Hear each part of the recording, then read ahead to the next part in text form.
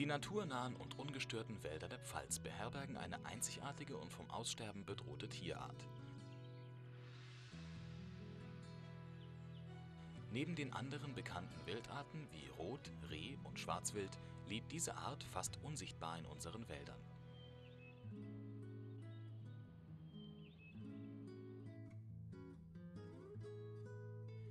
Hier zwischen Bäumen, Gräsern, Geäst und Strauchwerk bewegt sie sich vor allem nach Sonnenuntergang.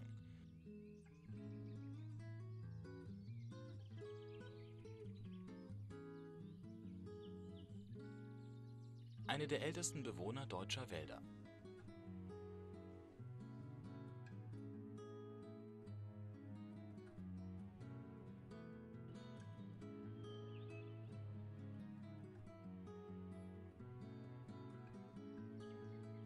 Schleichend, anmutig und wild.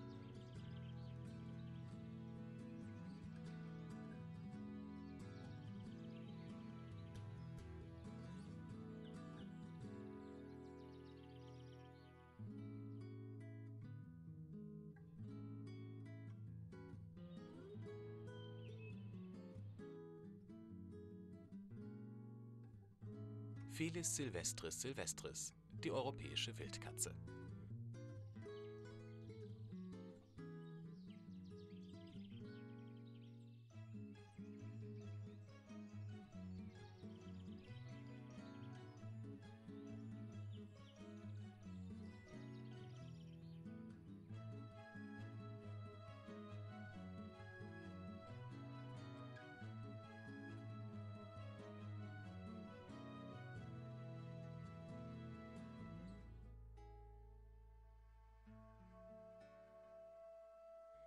Die europäische Wildkatze gehört zu der Ordnung der Raubtiere. Im allgemeinen Sprachgebrauch wird sie als Wildkatze bezeichnet. Die Wildkatze ist nicht mit der Hauskatze zu verwechseln. Das Erscheinungsbild ist oft massiger und bulliger, besonders im Winterfell. Ausgewachsen misst sie bis zu 120 cm und wiegt 8 kg. Ihre Augen liegen weiter auseinander als die der gemeinen Hauskatze und ihre Ohren laufen spitzer zu.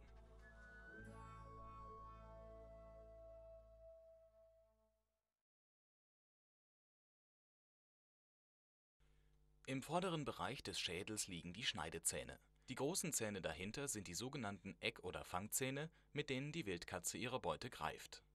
Im hinteren Teil des Gebisses liegen die Reißzähne, mit denen sie die Beute zerschneidet. Die Wildkatze ist ein sogenannter Pirschjäger.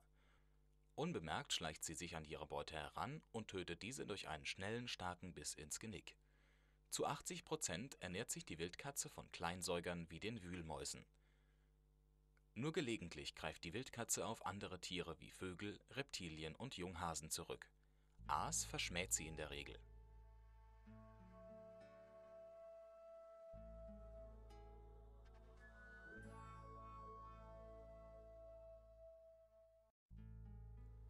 Die wohl auffallendsten Merkmale der Wildkatze sind ihre Größe, ihre Fellzeichnung und ihr Schwanz. Oft weist er an der Spitze eine Dreierringelung auf und endet stumpf. Das Fell der Wildkatze ist nicht kontrastreich, sondern wirkt verwaschen. Jedes Tier besitzt, trotz großer Ähnlichkeit, eine andere Fellzeichnung. An der Innenseite der Schenkel weist das Fell eine rötliche Färbung auf. An ihrer Sohle befindet sich ein kleiner schwarzer Fleck. Aber die eindeutigsten Merkmale der Wildkatze im Vergleich zur Hauskatze sind nur am toten Tier feststellbar. Es sind das größere Hirnvolumen, der längere Darm und natürlich der genetische Fingerabdruck.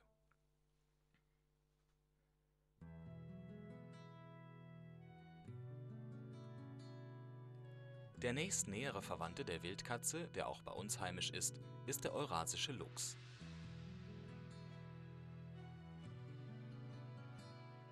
Er gehört zur Gattung der Luchse und wird in Bezug auf die Wildkatze gerne als großer Vetter bezeichnet.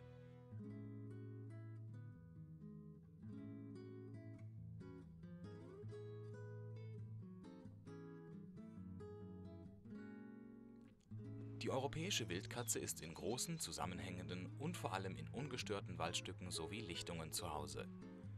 Bevorzugt lebt sie in alten, lichtdurchfluteten Laubwäldern mit genügendem Altholzbestand und Unterwuchs.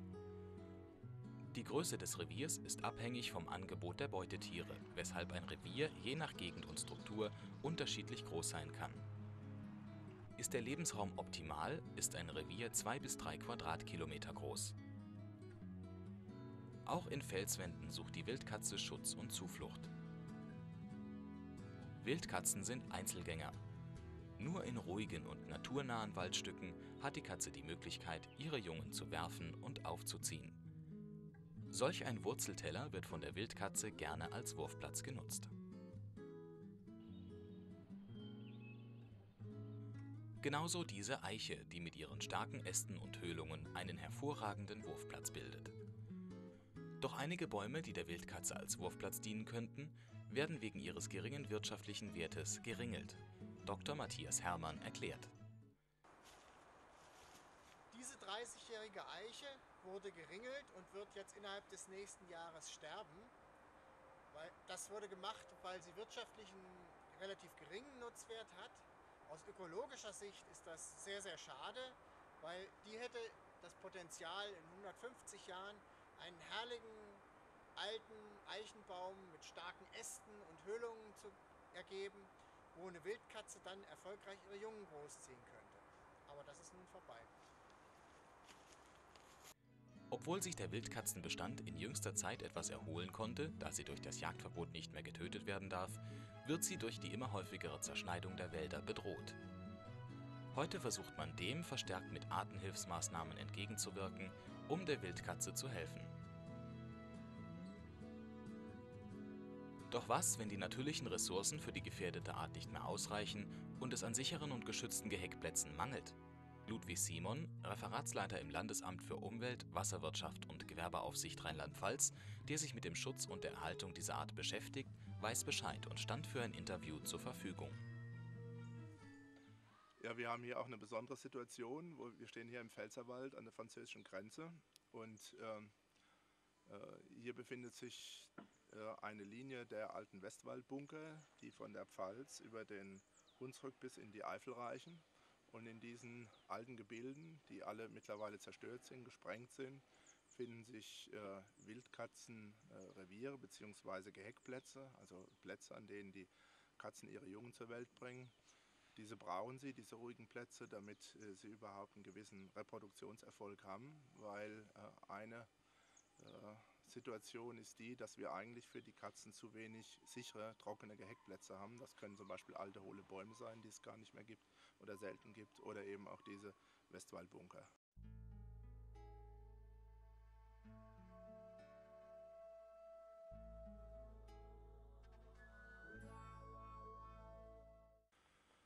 Neben dem Artenschutzprojekt haben wir noch verschiedene andere Untersuchungen gemacht, um die Gefährdung der Art näher zu analysieren. Also eine Untersuchung diente zum Beispiel der Analyse der Gefährdung durch forstwirtschaftliche Maßnahmen in sogenannten äh, Förderrevieren. Äh, haben wir in verschiedenen Musterrevieren untersucht, äh, welche forstwirtschaftlichen Maßnahmen sich positiv oder negativ auf die Katze auswirken, um da entsprechend entgegenzusteuern. Und der, große, der größte Aspekt der Gefährdung liegt im Straßenverkehr, also in der Zerschneidung der Landschaft und ganz äh, konkret äh, in der Situation, dass Wildkatzen sehr oft überfahren werden an Straßen. Und tatsächlich ist die häufigste Todesursache der Wildkatze das Überqueren der Straße. Herr Helmut Schneider, Referatsleiter im Landesbetrieb Mobilität in Koblenz, konnte uns dazu Auskunft geben. Im Rahmen von Straßenplanungen äh, haben wir es öfters oder eigentlich fast immer mit Zerschneidung von Lebensräumen bedrohter, seltener Tierarten zu tun, mit denen wir uns auseinandersetzen müssen. Leitarten sind hier beispielsweise äh, Wildkatze, Rotwild, in letzter Zeit kommt der Luchs hier und da noch dazu. Diese Arten werden von uns im Rahmen der Planung bereits berücksichtigt. Wir versuchen spezielle Maßnahmen äh, durchzuführen, um den Arten einen weitestgehenden Schutz zu bieten. Wildkatzen können in der Wildnis bis zu zehn Jahre alt werden, doch finden fast 50 Prozent der Tiere ihr vorzeitiges Ende beim Überqueren von Land- und Schnellstraßen, die durch ihre Reviere verlaufen. Um dem entgegenzuwirken, wurden viele Querungsmöglichkeiten wie zum Beispiel Wildtierbrücken errichtet, um den Wildkatzen den direkten, gefahrvollen Gang über die Straßen zu ersparen. Dazu haben wir auch eine Arbeitsgruppe eingerichtet, die sich Gedanken gemacht hat, modelliert hat, wo zum Beispiel bei uns in Rheinland-Pfalz die groß, größten Wildkatzenkorridore sind oder überhaupt Wildtierkorridore. Da haben wir neben der Wildkatze den Luchs und den Rothirsch äh, beachtet und da versuchen wir durch Wildtierbrücken die, die Landschaft durchgängig zu machen und äh, die Situation in der Landschaft auch besser zu vernetzen.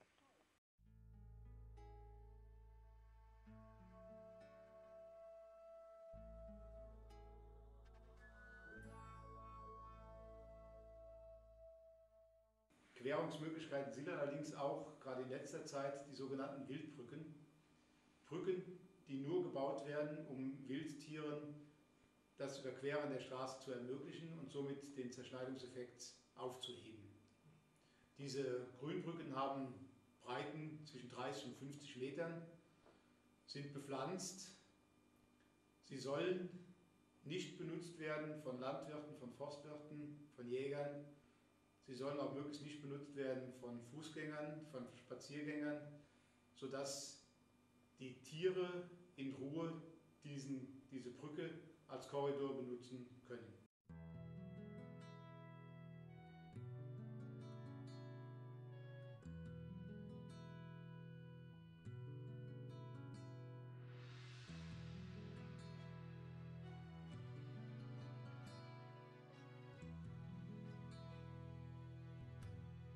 Diese gefährdete Art zu schützen, wird sie im Rahmen des Artenschutzprojektes und weiterer Vorhaben von Forschern und Naturschützern begleitet und überwacht.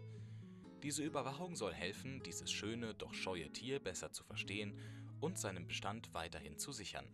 Der erste Schritt bei der Überwachung ist die Ermittlung der Wildkatzenvorkommen. Hierbei nimmt sich der Mensch die Technik zu Hilfe, in diesem Fall solche Fotofallen.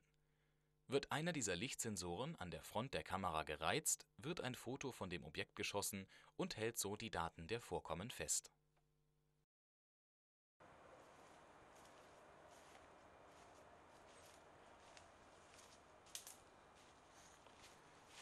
Wurde eine Wildkatze erfasst, werden im Umkreis der Fotofallen Fangboxen aufgestellt. Mit Hilfe von Baldrian, der als attraktiver Köder dient, werden sie dort in die Falle gelockt.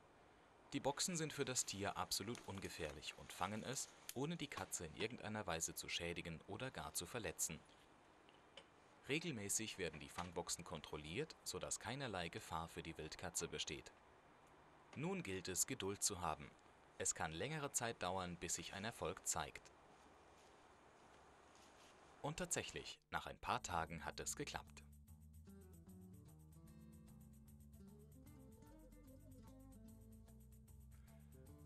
Nachdem die Katze eingefangen wurde, wird sie zuerst schmerzlos betäubt.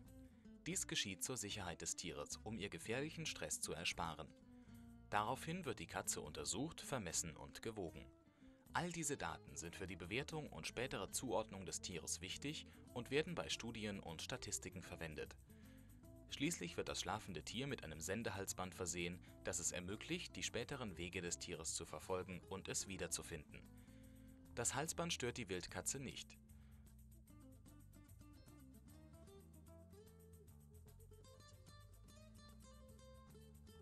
Nach dem Besendern wird die Katze zurück in die Box gelegt, wo sie ungestört aus der Betäubung aufwachen und schließlich zurück in die Freiheit entkommen kann durch das Sendehalsband, das die Katze nun trägt, ist es möglich, sie zu orten.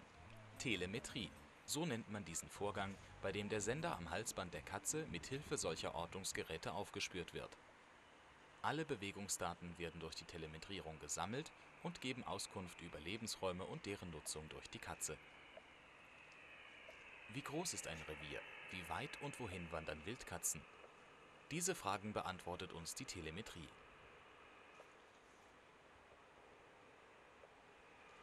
Anhand einer Modellierung der errechneten Wanderkorridore zwischen Bienwald und Pfälzerwald im Bereich des eingeblendeten Pfeils hat die Telemetrierung folgendes gezeigt: Die Wildkatzen, hier dargestellt als Ortungspunkte in verschiedenen Farben, bewegen sich tatsächlich auf diesem Korridor. Nun kann damit begonnen werden, die Wanderroute zu optimieren und Gefahren einzudämmen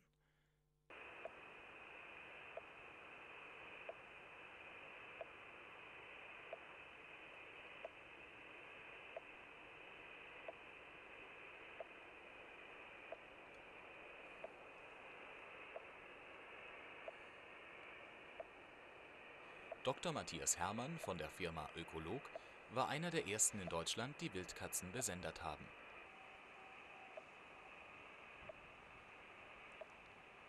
Was wir hier hören, ist das Signal, das aus einem Halsband kommt, das wir der ersten Katze, die wir hier gefangen haben, der Katze Nina umgezogen haben.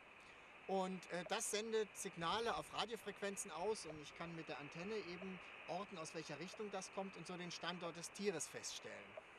Das Ganze, was wir hier machen, dient dazu, zu prüfen, inwieweit Wildkatzen von Straßen betroffen werden. Denn wir finden sehr viele tote Katzen auf den Straßen in Rheinland-Pfalz und wir hoffen, hier Verbesserungen erzielen zu können, indem wir Gefährdungsstellen anders gestalten, indem wir für Grünbrücken für die Tiere sorgen, sodass sie sich wieder ausbreiten können. Und das ist ganz wichtig. Wir haben in Rheinland-Pfalz schon 1996 mit dem Artenschutzprojekt Wildkatze im Auftrag des Landesamtes für Umweltschutz begonnen und führen dieses Artenschutzprojekt bis heute durch.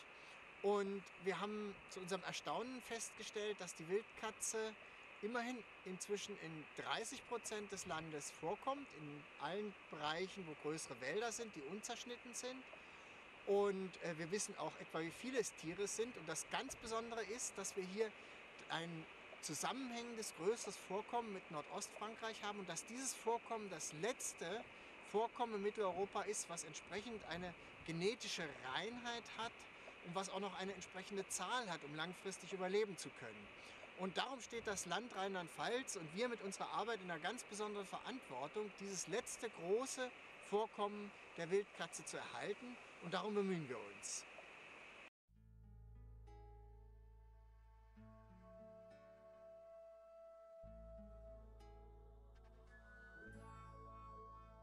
Zu jedem Artenschutzprojekt gehört natürlich auch Öffentlichkeitsarbeit. Das ist ja auch zum Beispiel unser heutiges Tun, dass wir hier stehen und jetzt diesen Film äh, entstehen lassen, äh, kommt ja daher, dass wir ein gemeinsames Projekt haben äh, im Bereich des Freiwilligen Ökologischen Jahres zwischen dem Landesamt für Umwelt, Wasserwirtschaft und Gewerbeaufsicht und dem offenen Kanal Ludwigshafen. Äh, das ist ein, ein Baustein, äh, mit dem wir versuchen, Öffentlichkeitsarbeit zu machen. Ein anderer Baustein sind zum Beispiel Umweltbildungsmaßnahmen im deutsch-französischen, äh, in der deutsch-französischen Grenzregion. Und was wir dann auch noch machen, sind zum Beispiel Veranstaltungen, Exkursionen und vieles mehr rund um die Wildkatze, damit die Leute eben erfahren, wie es um die Art steht und welche Gefährdungen sie hat und was man auch konkret für sie dann tun kann.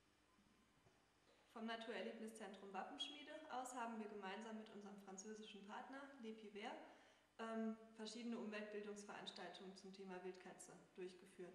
Dafür haben wir jeweils eine deutsche und eine französische Klasse zusammengeholt, um einen Tag zum Thema Wildkatze gemeinsam zu verbringen.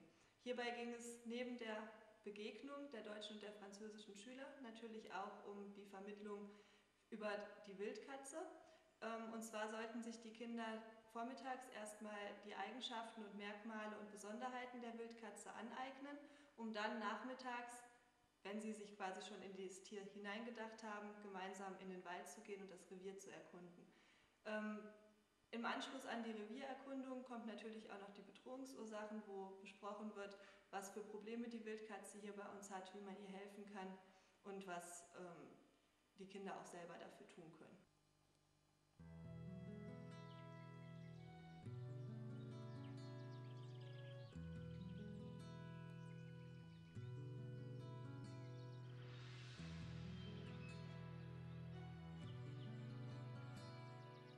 Es liegt an uns, dafür zu sorgen, dass die europäische Wildkatze uns auch noch in Zukunft erhalten bleibt, bevor sie ganz aus unserem Blick verschwindet.